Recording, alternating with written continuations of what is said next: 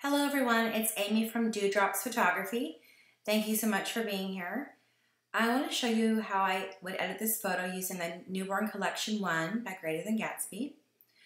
The first thing I'm going to do is just go ahead and clean up a few things that are bothering me.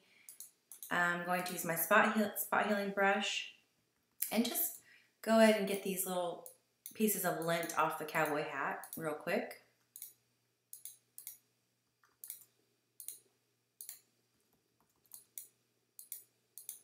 All the things we see after we take the photo and get it into Photoshop. He's just got a little flakes here and there. I'm going to zoom in and make sure I get those nice and clean. And then I'm going to go ahead and crop. Well, let me go ahead and get the patch tool. I'm going to take care of this little sticker right here. And then I'm going to get my marquee tool and go ahead and select that area, hit delete, content aware, and it should fill it in nicely for me. If it doesn't fill it in perfectly, I can, I'm going to go over that in a little bit. I'm going to go ahead and crop it to my liking, and I'm just going to drag this in a little bit. And then I'm going to make sure the content aware is selected, and I'm going to bring this up a little bit. And then hit enter, and it should fill it in for me. There we go. So I'm also going to rotate it just a tiny bit. I feel like he's kind of leaning to the right a little too much for my liking.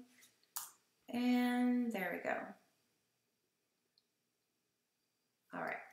So I'm going to zoom in and I'm going to just um, start by using the baby foundation.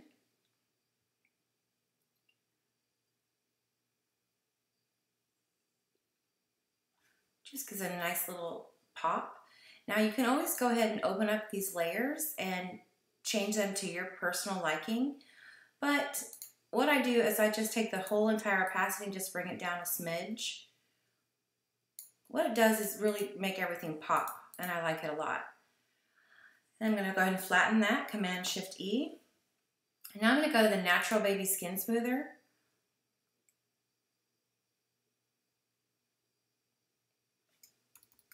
zoom in. At 50% opacity, I'm going to just brush over his skin, give him a nice little baby skin smooth. You don't want to overdo it. And you want to make sure you're, getting his body, all of his body parts. Um, I'm not really big on take, uh, taking flakes off of hands. It's more of a personal preference. I like to show a little bit of them of their newbornness, if that's a word. So I like to keep a little bit of flakes on their hands and feet. But if you see, it just gives it a nice little subtle softening. And Command Shift E is flatten. I'm going to go back to my um, spot healing brush and just go ahead and zoom in real close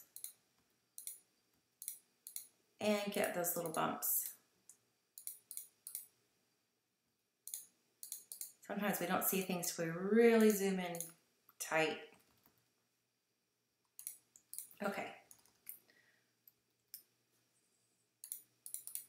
I'm going to go ahead and go to darken lashes. And I don't make fake lashes where there aren't any. What I like to do is enhance the lashes that they do have. If they don't have any lashes, I would just make my opacity about 20% and just do a nice little line across the eyelid right here. But because he has these nice little lashes, I'm going to go ahead and enhance those. And you can use, um, oh, a little too much. Make sure your brush is really small. And just real quickly, just go over what's already there. And over here in the highlighted areas as well. It just for me gives them a nice little pop. I'll zoom out and show you before and after. There we go. Um, you can actually go ahead and keep on running these actions on top of each other. So what I'm going to do now is hit paint away red splotches. And at 50%, I'm going to get rid of some of this red on his cheeks over here and on his forehead. And to raise your um, brush, you can use the bracket key up or down. I mean bigger or smaller, sorry.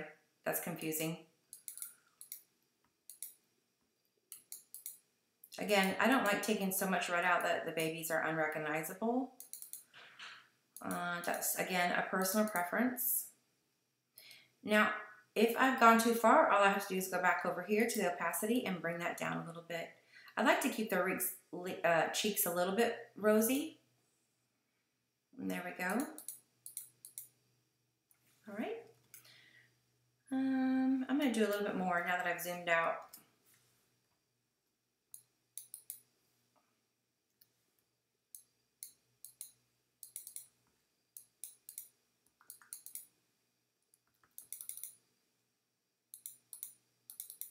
Go, that looks good. Command Shift E now. I'm gonna, I don't know what this is right here. I'm gonna go ahead and take care of that using my healing brush tool. I'm going to select this area right here and just kind of run over that. I don't know what happened there.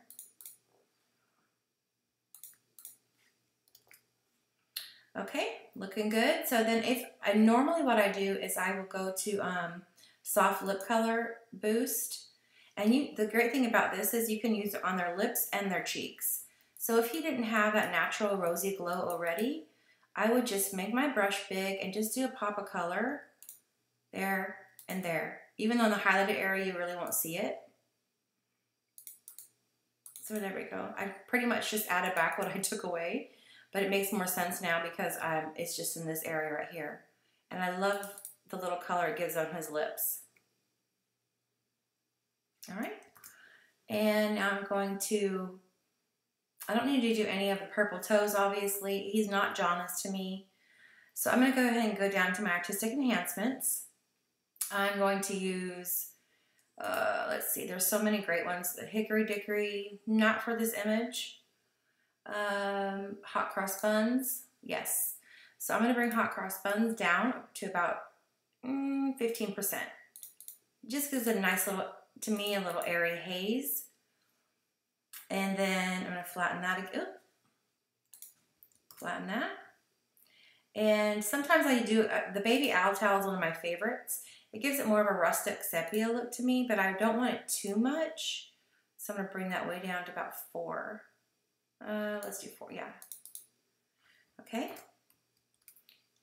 All right, and so the last thing I would do for this particular image would be to sharpen the details. And I'm just gonna make my brush really big, about 50%, and just do one click over him to make him pop even more. There we go. Now, I'm going to show you before and after. Very subtle, but it makes a big difference.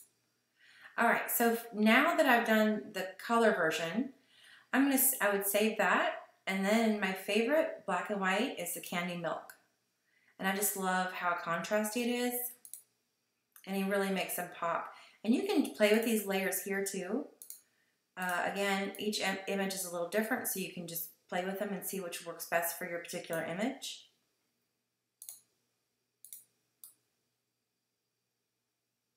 So there you have it. And I would flatten, I'm going to bring that back up to its original. I like that matty look.